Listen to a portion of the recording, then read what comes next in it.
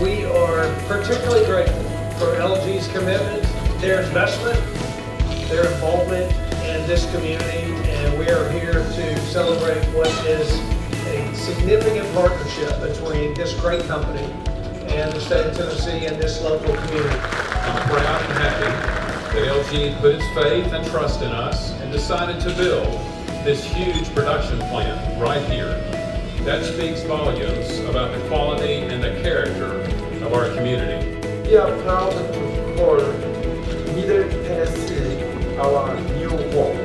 These talented and highly trained Tennessee workers will produce 1.2 million washes a year. Significant financial investment, 250 million, employing 700 in this community. But a significant investment in the lives of the people of Tennessee.